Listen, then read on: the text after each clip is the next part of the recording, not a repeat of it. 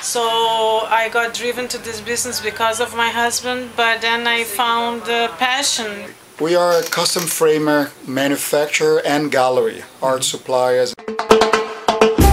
I have passion for art, to coordinate uh, colors and textures. I'm a professional fashion designer. Really cares about customer service.